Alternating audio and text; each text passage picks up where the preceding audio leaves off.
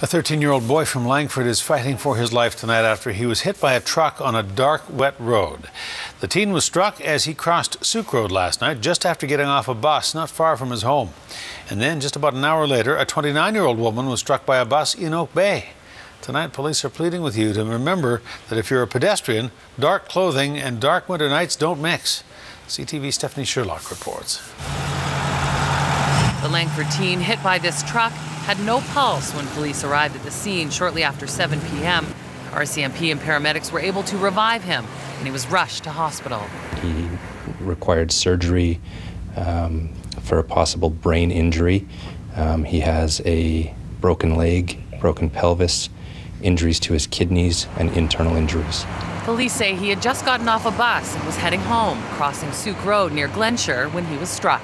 He just picked the wrong spot to cross. Police say that trying to cross a busy highway such as this at night when it's wet, wearing dark clothing can be a recipe for disaster.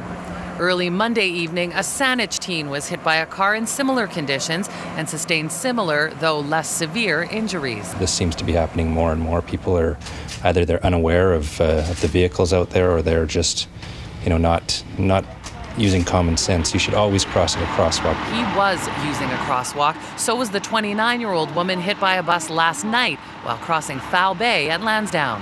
When we arrived, uh, determined that uh, a bus had struck a female in a marked crosswalk. Police say she suffered a broken arm, though it could have been much worse. BC Transit says road safety is everyone's responsibility. What we can say is that we all share the road, and there are a lot of things to be aware of, especially at this time of year. The bus driver is undergoing counseling. Counseling has also been offered to students at Dunsmuir School, where the teen struck last night had attended until June. We understand that when students have a friend or maybe even somebody that they don't know directly, but they know is involved in their community, somebody gets injured or is in an accident like this, that it can bring out a lot of emotions for students. The teen is in critical condition in hospital. A strong reminder to all to be aware of your surroundings and ensure you're visible when walking at night.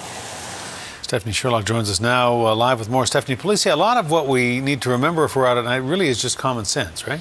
Absolutely, Hudson. It doesn't go without saying. Be aware of your surroundings. Take your headphones out. Keep your head up. Watch where you're going. Uh, look both ways before you cross the street. Completely common sense, but you know, sometimes it's easier for you to spot cars than it is for cars to spot you. And also, don't dress like I'm dressed. You know, in, in a few more minutes, it's going to be darker out here, and without a light on me, I would blend in in these dark colors. You want to be visible, wear something reflective, something bright. You know, this is three accidents inside of two days. We definitely don't want any more. And with Halloween just right around the corner, it's a good reminder for everyone. Mm-hmm. Stephanie Sherlock, thank you. You're welcome.